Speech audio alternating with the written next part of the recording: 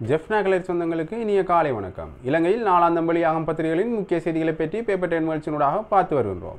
அந்த வகையில் நாலு ஆறு ரெண்டாயிரத்தி இருபத்தி ரெண்டு அன்று வெளியான பத்திரிகைகளின் முக்கிய செய்திகளை பற்றி பார்க்கலாம்.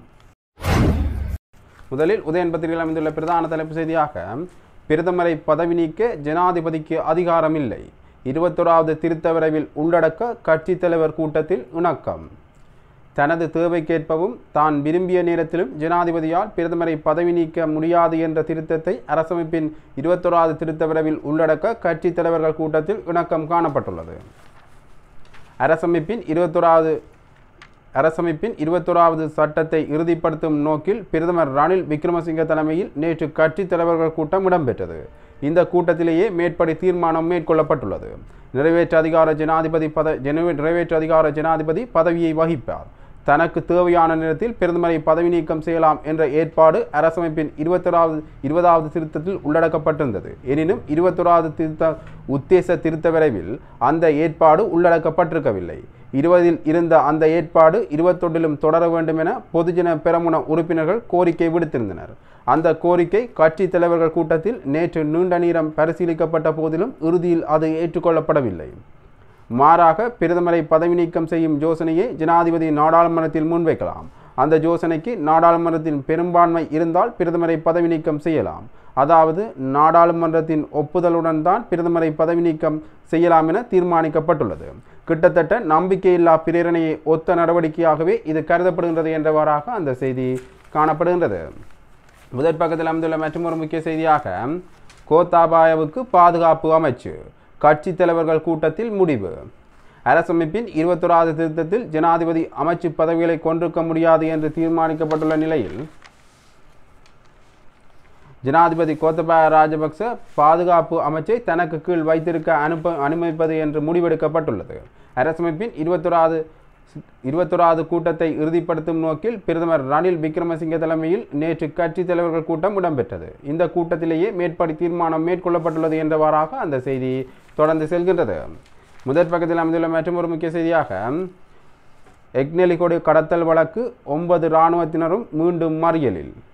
ஊடகவியலாளர் பிரகீத் எக்னெலிகோட கடத்தல் கடத்தி காணாமலாக்கப்பட்ட வழக்கில் குற்றஞ்சாட்டப்பட்டு பிணை வழங்கப்பட்ட சந்தேக நபர்களான ஒன்பது இராணுவத்தினரை மீண்டும் விளக்கமறியலில் வைக்குமாறு நீதிமன்றம் உத்தரவிட்டுள்ளது.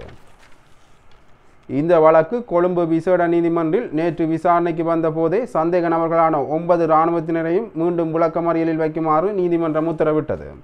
ரெண்டாயிரத்தி ஒன்பதாம் ஆண்டு ஆகஸ்ட் மாதத்தின் இறுதிப்பகுதியில் பகுதியில் கடத்தப்பட்டார். இந்த வழக்கில் மேற்படி ஒன்பது இராணுவத்தினரும் சந்தேக நபர்களாக அடையாளம் காணப்பட்டு ரெண்டாயிரத்தி பத்தொன்பதாம் ஆண்டு நவம்பரில் அவர்களுக்கு எதிராக குற்றப்பத்திரம் தாக்கல் செய்யப்பட்டமை குறிப்பிடத்தக்கது என்றவாறாக அந்த செய்தி காணப்படுகின்றது. முதல் பக்கத்தில் அமைந்துள்ள மற்றொரு முக்கிய செய்தியாக மன்னாரில் மீனவர்கள் மீது கடற்படையினர் தாக்குதல். ஏழு பேர் மருத்துவமனையில். மன்னார் பேசாலையில் இருந்து கடற்தொழிலுக்கு சென்ற ஏழு மீனவர்கள் மீது கடற்படையினர் கொலைவரி தாக்குதல் நடத்தியுள்ளனர். இதில் பாதிக்கப்பட்ட ஏழு மீனவர்கள் மருத்துவமனையில் சேர்க்கப்பட்டுள்ளனர். சம்பவம் தொடர்பில் தெரிய வருவதாவது மன்னார் பேசாலையில் இருந்து நேற்று முன்தினம் மாலை மூன்று மணியளவில் மீனவர்கள் கடற்தொழிலுக்கு செல்ல தயாரான போது கடற்படையினர் அவர்களின் படகுகளை பரிசோதனைக்கு உட்படுத்தியுள்ளனர். இதையடுத்து மீனவர்களுக்கும் கடற்படையினருக்கும் இடையில் வாய் தர்க்கம் ஏற்பட்டுள்ளது. இதன் தொடர்ச்சியாக மீனவர் ஒருவர் கடற் மீனவர் ஒருவர் மீது கடற்படையினர் தாக்குதல் நடத்தி அவர் மருத்துவமனையில் சேர்க்கப்பட்டார். பின்னர் சமரசத்தின் அடிப்படையில் ஏனைய மீனவர்கள் தொழிலுக்கு சென்று மீன்பிடியில் ஈடுபட்டு கொண்டிருந்த போது மாலை ஐந்து முப்பது மணியளவில் கடற்படையினர் அந்த இடத்துக்கு சென்று மீனவர்களின் படகுகளை மீண்டும் சோதனைக்கு உட்படுத்தியுள்ளனர். அத்துடன் ஆட்கள் இல்லாத தீடை எனும் பகுதிக்கு சென்று அங்கு உடற் உடற்பரிசோதனைகளையும் நடத்தியதுடன் பேசாலையில் கடற்தொழிலுக்கு செல்ல முன்னர் கடற்படை கடற்படையினர் மீனவர்கள் முரண்பட்ட போது எடுக்கப்பட்ட காணொலியை வைத்து ஆறு மீனவர்களை இனங்கண்டு அவர்களை தாக்கியுள்ளனர். இதையடுத்து அவர்கள் மருத்துவமனையில் சேர்க்கப்பட்டுள்ளனர் என்றவாறாக அந்த செய்தி காணப்படுகின்றது. முதல் பக்கத்தில் அமைந்துள்ள மற்றும் ஒரு முக்கிய செய்தியாக தமிழகம் வழங்கிய நிவாரணப் பொருட்கள் திங்களன்று விநியோகம். தமிழக அரசால் வழங்கப்பட்ட நிவாரணப் பொருட்களின் விநியோகம் நாளை மறுதினம் திங்கட்கிழமை மீண்டும் ஆரம்பமாகும் என தெரிவிக்கப்பட்டுள்ளது. தமிழக அரசின் உதவிப் பொருட்கள் விநியோகத்தில் அரசியல் அரசியல் தலையீடு இருப்பதாக பிரதமர் அலுவலகத்துக்கு கிடைத்த முறைப்பா முறைப்பாடுகளை அடுத்து நேற்று முன்தினம் தொடக்கம் விநியோகம் இடைநிறுத்தப்பட்டது அதனை மீளவும் திங்கட்கிழமையிலிருந்து ஆரம்பிக்குமாறு பிரதமர் அலுவலகம் நேற்று பணிப்புரை விடுத்துள்ளது. இதேவேளை வடக்கு மாகாணத்தில் கிளிநொச்சி மற்றும் வவுனியா மாவட்டங்களிலேயே முதற்கட்ட விநியோகம் இன்னமும் முடிவுறாத நிலையில் உள்ளது என்றவாறாக அந்த செய்தி காணப்படுகிறது முதற் பக்கத்தில் அமைந்துள்ள மற்றொரு முக்கிய செய்தியாக செம்மணி படுகொலை சாட்சிய பதிவுகளுடன் சிட்னியில் ஆவண நூல். ஜாழ்ப்பாணம் சுண்டுக்குழி மகளிர் கல்லூரி மாணவி கிரிசாந்தியும் அவரது உறவினர்களும் இராணுவத்தினரால் செம்மனையில் கொல்லப்பட்டமை தொடர்பாக சிட்னி வழக்கறிஞர் ஸ்ரீ பகவன்தாஸ் எழுதிய school girl rape and four murders எனும் சி- எனும் நூல் சிட்னியில் நாளை ஞாயிற்றுக்கிழமை வெளியிடப்பட உள்ளது. ஆயிரத்தி தொள்ளாயிரத்தி தொண்ணூற்றி ஆறாம் ஆண்டு செப்டம்பர் மாதம் ஏழாம் தேதி சுண்டுக்குழி மகளிர் கல்லூரி மாணவி கிருசாந்தி இராணுவத்தால் கடத்தப்பட்டு பாலியல் துஷ்பிரத்துக்கு உட்படுத்தப்பட்ட பின்னர் கொல்லப்பட்டார். கிருசாந்தியை தேடி இராணுவ முகாமுக்கு சென்ற தாயாரான திருமதி ராசம்மா சகோதரர் பிரணவன் அயலவர் கிருபாமூர்த்தி ஆகியோரும் இராணுவத்தினரால் படுகொலை செய்யப்பட்டு புதைக்கப்பட்டனர் என்றவாறாக அந்த செய்தி தொடர்ந்து செல்கின்றது. முதற் பக்கத்தில் அமைந்துள்ள மற்றும் ஒரு முக்கிய செய்தியாக கோவிட் நிதியத்திலிருந்து மருந்துகள் இறக்குமதிக்காக ஒன்று புள்ளி எட்டு பில்லியன் ரூபாய் ஒதுக்கீடு. அத்தியாவசிய மருந்துகளை இறக்குமதி செய்வதற்காக கோவிட் நிதியத்திலிருந்து ஒன்று புள்ளி எட்டு பில்லியன் ரூபாவை விடுவிக்குமாறு ஜனாதிபதி கோத்தபாய ராஜபக்சே தெரிவித்துள்ளார். சுகாதாரத்துறையில் உடனடியாக அவதானம் செய்ய வேண்டிய விடயங்கள் தொடர்பில் ஜனாதிபதி மாளிகையில் நேற்று இடம்பெற்ற கலந்துரையாடலிலேயே ஜனாதிபதி கோத்தபாய ராஜபக்சே இந்த உத்தரவை பிறப்பித்துள்ளார் என்றவாறாக அந்த செய்தி தொடர்ந்து செல்கின்றது. இரண்டாம் பக்கத்தில் அமைந்துள்ள முக்கிய செய்திகளாக பௌத்த சிங்கள மேலாதிக்கத்தை தொடர்ந்தும் பரப்புகிறது பொதுபல சேனா அமெரிக்காவின் அறிக்கையில் தெரிவிப்பு. சிங்கள பௌத்த மேலாதிக்கத்தை பரப்புவதற்காகவும் மத மற்றும் இன சிறுபான்மையினத்தவர்களை கொச்சைப்படுத்துவதற்காகவும் பொதுபல சேனா தொடர்ந்தும் சமூக ஊடகங்களை பயன்படுத்துகின்றது என்று அமெரிக்கா தெரிவித்துள்ளது. ரெண்டாயிரத்தி இருபத்தி ஒன்றில் சர்வதேச மத சுதந்திரம் குறித்து தனது வேடாந்த அறிக்கையில் அமெரிக்கா இதனை தெரிவித்துள்ளது. பொதுபல சேனா போன்ற பௌத்த தேசியவாத குழுக்களால் வெளிப்படையாக தென்படும் வகையில் முன்னெடுக்கப்படும் சமூக ஊடக பரப்புரைகள் சிறுபான்மை குழுக்களை இலக்கு வைத்து வன்முறையை தூண்டுகின்றன என சிவில் சமூக அமைப்புகள் தெரிவிக்கின்றன. குறிப்பாக முஸ்லிம் சமூகத்தினர் இலக்கு வைக்கப்படுகின்றனர் என அவர்கள் தெரிவித்துள்ளனர். இவ்வாறு அமெரிக்கா தனது அறிக்கையில் தெரிவித்துள்ளது என்றவாறாக அந்த செய்தி தொடர்ந்து செல்கின்றது. அதே பக்கத்தில் அமைந்துள்ள மற்றொரு முக்கிய செய்தியாக இரு இடங்களில் துப்பாக்கிச் சூடு இருவர் சாவு. அழுத்கம மொரகல்ல மற்றும் பானந்துறை பிரதேசங்களில் நேற்று இடம்பெற்ற துப்பாக்கிச் சூட்டு சம்பவங்களில் இருவர் உயிரிழந்துள்ளனர் என போலீஸ் ஊடகப் பிரிவு தெரிவித்துள்ளது. அழுத்கம மொரகல்ல சம்பவத்தில் உயிரிழந்தவர் நாற்பத்தேழு வயதுடையவர் என அடையாளம் காணப்பட்டுள்ளார். குறித்த நபர் துப்பாக்கிச் சூட்டுக்கு இலக்காய் காயம் காயமடைந்த நிலையில் மருத்துவமனையில் சேர்க்கப்பட்டு பின் சிகிச்சை பலனின்றி உயிரிழந்துள்ளார் என தெரிய வருகின்றது இதேவேளை பானந்துறை பிரதேசத்தில் இடம்பெற்ற துப்பாக்கி சூட்டு சம்பவத்தில் ஒருவர் உயிரிழந்துள்ளார் என்றவாறாக அந்த செய்தி தொடர்ந்து செல்கின்றது. மூன்றாம் பக்கத்தில் அமைந்துள்ள முக்கிய செய்திகளாக மேலதிக கொடுப்பனவில் கடன் தொகை அறவீடு சமுத்தி பயனாளர்கள் எதிர்ப்பு. சமுத்தி பயனாளர்களுக்கு அரசால் வழங்கப்பட்டு வரும் கொடுப்பனவின் க- கொடுப்பனவில் கடன் தொகையை அறவிட சமுத்தி வங்கியால் மேற்கொள்ளப்பட்ட நடவடிக்கைகளுக்கு பயனாளர்கள் எதிர்ப்பு தெரிவித்துள்ளனர். இந்த சம்பவம் தென்மராட்சி பரணி சமுத்தி வங்கியில் நேற்று முன்தினம் இடம்பெற்றுள்ளது. சமுத்தி பயனாளர்களால் பெறப்பட்ட கடன் தொகை மாதாந்தம் நேரடியாக வங்கியில் செலுத்தப்பட்டு வந்த நிலையில் மாதாந்தம் வழங்கப்படும் கொடுப்பனவில் அறவிடுவதாகவும் நேரடியாக வந்து செலுத்த தேவையில்லை எனவும் சமுத்தி வங்கியினரால் தெரிவிக்கப்பட்டது குறிப்பிடத்தக்கது என்றவாறாக அந்த செய்தி தொடர்ந்து செல்கின்றது. அதே பக்கத்தில் அமைந்துள்ள மற்றொரு முக்கிய செய்தியாக அரச நிதி மோசடி பசில் விடுவிப்பு. தொம்பே மல்வானை மப்பிட்டிகம பிரதேசங்களில் பதினாறு ஏக்கர் காணியை கொள்வனவு செய்து பெரிய வீடு நீச்சல் தடாகம் பண்ணையை நிர்மாணித்து அரசாங்க நிதியை மோசடி செய்ததாக முன்னாள் அமைச்சர் பசில் ராஜபக்ச மற்றும் வர்த்தகர் திருக்குமார் நடேசன் ஆகியோருக்கு எதிராக தொடரப்பட்ட வழக்கிலிருந்து அவர்கள் விடுவிக்கப்பட்டுள்ளனர். கம்பகா மேல் நீதிமன்றம் இந்த உத்தரவை நேற்று வழங்கியது. கடந்த மே ஒன்பது கலவரத்தின் போது மல்வான இல்லம் எரிக்கப்பட்டமை குறிப்பிடத்தக்கது என்றவாறாக அந்த செய்தி காணப்படுகின்றது. இவை உதயன் பத்திரிகையில் அமைந்த முக்கிய செய்திகள். இனி வலம்புரி பத்திரிகையின் முக்கிய செய்திகளை பற்றி பார்க்கலாம். வலம்புரி பத்திரிகையில் அமைந்துள்ள முக்கிய செய்திகளாக இன்று முதல் மின் கட்டணம் அதிகரிப்பு. நாட் நாட்டில் நள்ளிரவு முதல் புதிய மின் கட்டண திருத்தப்பட்டியல் அமலாக உள்ளதாக பொது பயன்பாடுகள் ஆணைக்குழு அறிவித்துள்ளது. அரசாங்கத்தின் வரி அதிகரிப்புக்கு அமைவாக இவ்வாறு மின் கட்டணத்தில் மின் கட்டணத்தில் திருத்தம் மேற்கொள்ளப் போவதாக பொது பயன்பாடுகள் ஆணைக்குழு வெளியிட்டுள்ள அறிக்கையில் மேலும் தெரிவிக்கப்பட்டுள்ளது என்றவாறாக அந்த செய்தி காணப்படுகின்றது. தொலைத்தொடர்பு வரி இன்று முதல் உயர்வு. நள்ளிரவு முதல் அமுலுக்கு வரும் வகையில் தொலைத்தொடர்பு வரி அறி அதிகரிக்கப்பட்டுள்ளது. அது அதற்கமைய குறித்த வரியானது பதினொன்று புள்ளி ரெண்டு ஐந்து சதவீதத்திலிருந்து பதினஞ்சு சதவீதமாக அதிகரிக்கப்படும் என தெரிவிக்கப்பட்டுள்ளது.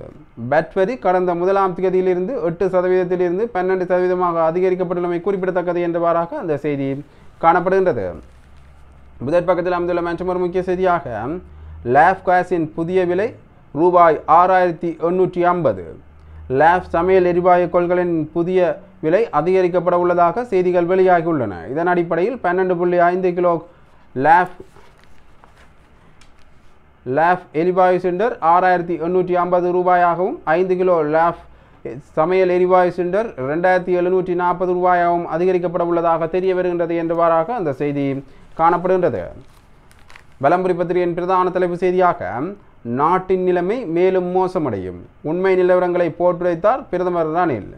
இலங்கையால் மீள்வது கடினம். நெருக்கடியின் தொடக்கத்தில் மட்டுமே உள்ளோம். உணவுக்கு தட்டுப்பாடு ஏற்படலாம். ஒரு நாளைக்கு இரு மட்டும் சாப்பிடும் காலம் பெறும். நட்பு நாடுகளின் உதவி உதவி இல்லாமல் இந்த ஆண்டை கடக்க முடியாது. அனைத்து கட்சி தலைவர்களுடன் இடம்பெற்ற கலந்துரையாடலிலே பிரதமர் ரணில் இவ்வாறு தெரிவித்துள்ளார். அவர் மேலும் தெரிவிக்கையில் இலங்கைக்கு வெளியிலிருந்து சில பில்லியன் டாலர்கள் தேவை. இல்லையெனில் இலங்கையால் மீள முடியாது. தற்போது பெட்ரோலுக்கான வரிசைகள் இல்லை. ஆனால் நான் பிரதமரின் வேலையை மட்டுமல்ல தீயணைப்பு வீரரின் வேலைகளையும் செய்து கொண்டுள்ளேன் என்பதை நீங்கள் புரிந்து கொள்ளவில்லை. நாடு நெருக்கடியின் தொடக்கத்தில் மட்டுமே உள்ளது. இன்னும் மோசமான நிலைமை வரப்போகின்றது. பருவங்களுக்கு போதுமான உரங்கள் இல்லாததால் இலங்கையில் உணவு நெருக்கடி ஏற்படலாம். அடுத்த பருவத்திற்கு பருவத்திற்கு உடம் கிடைக்காததால் அடுத்த ஆண்டு பிப்ரவரிக்குள் தன்னிறைவை அடையக்கூடிய தேவையை நாங்கள் ஏற்படுத்தி கொள்ள வேண்டும் எனவும் அவர் குறிப்பிட்டுள்ளார் என்றவாறாக அந்த செய்தி தொடர்ந்து செல்கின்றது. முதற் பக்கத்தில் அமைந்துள்ள மற்றொரு முக்கிய செய்தியாக வன பாதுகாப்பு திணைக்களம் வடக்கு கிழக்கில் கைப்பற்றிய வயல் காணிகளை விடுவிக்குக. நெருக்கடி ஏற்பட்டதை அடுத்து அமைச்சர் மஹிந்த அமரவீர பணிப்பு.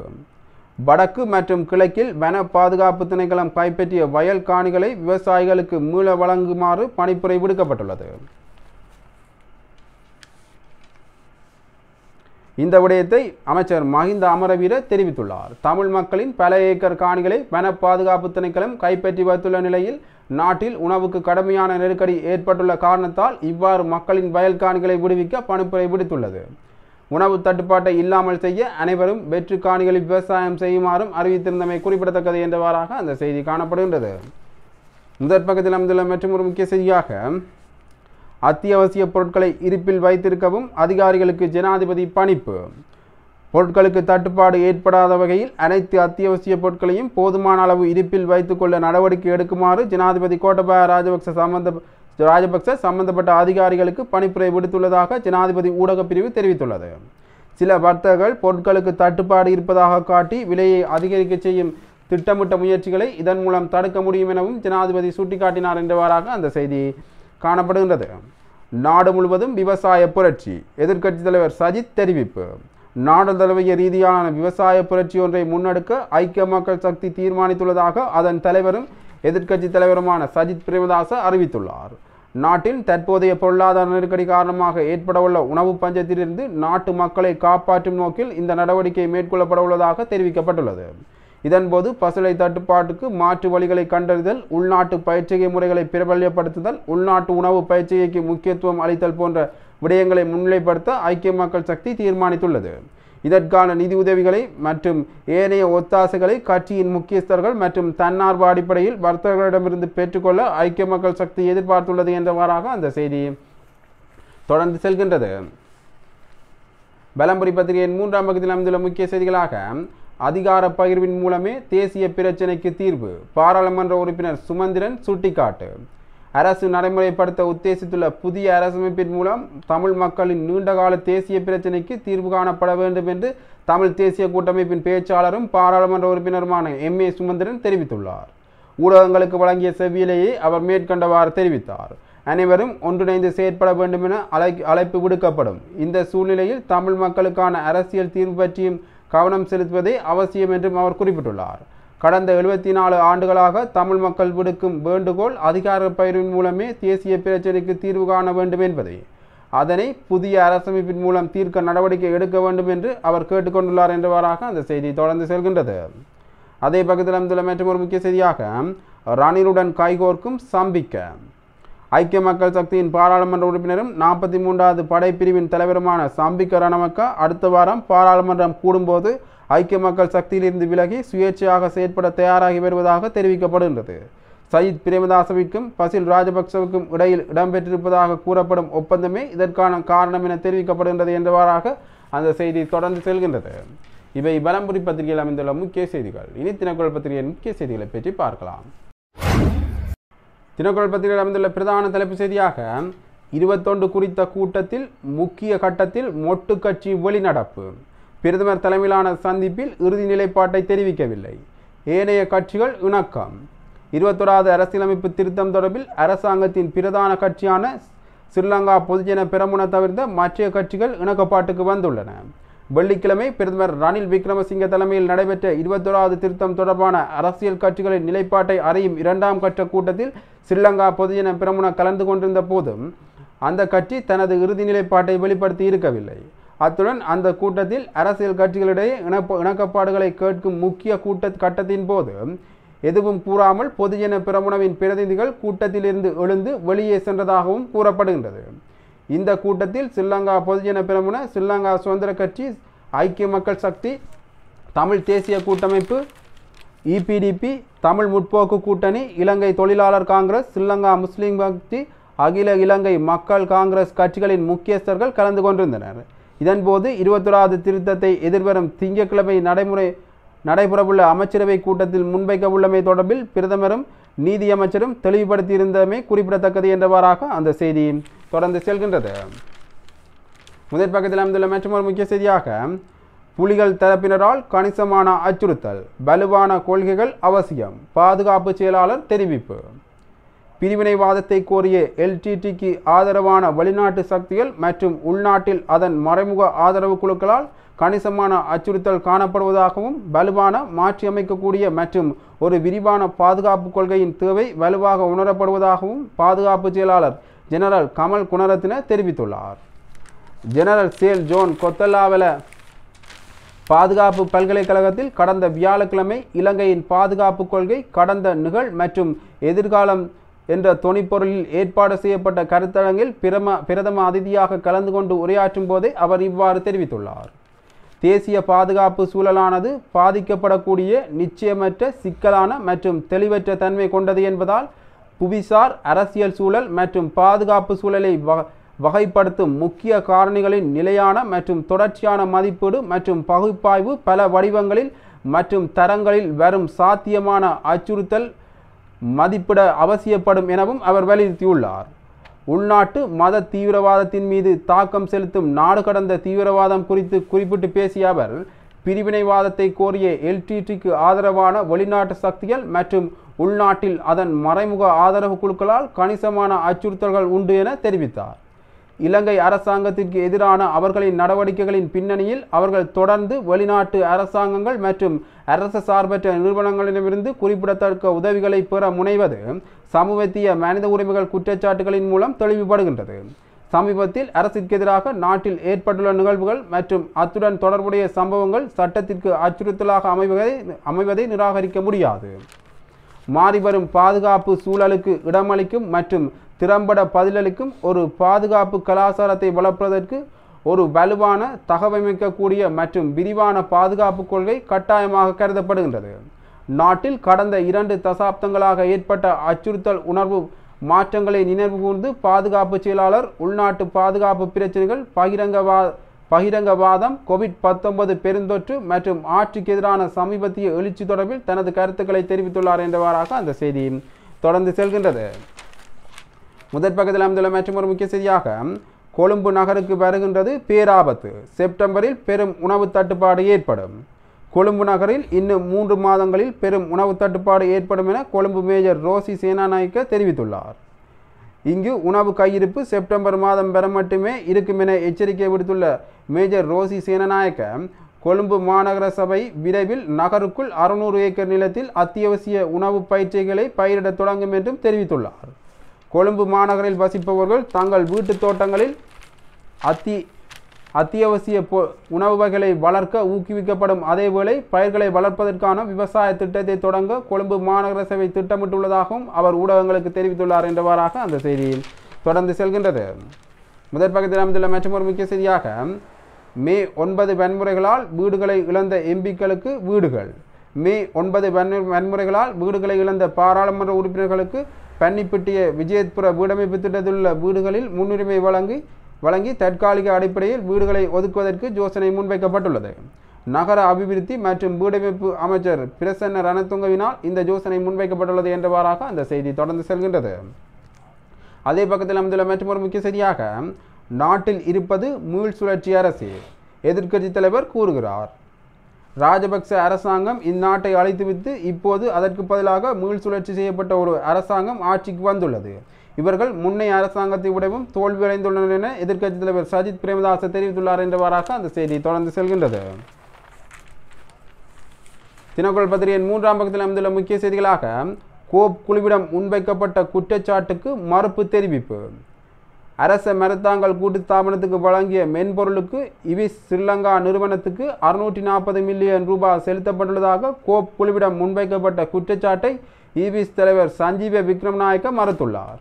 மருந்து விநியோக பிரிவுக்காக வழங்கப்பட்ட மென்பொருளுக்காக எண்பத்தி மூன்று பில்லி மில்லியன் எண்பத்தி மூன்று மில்லியன் ரூபாய் மாத்திரமே செலவிடப்பட்டுள்ளதாகவும் மொத்த திட்டத்திற்கான செலவு இருநூற்றி இருபத்தி மூன்று மில்லியன் ரூபாய் எனவும் அவர் தெரிவித்துள்ளார் என்றவாறாக அந்த செய்தி தொடர்ந்து செல்கின்றது.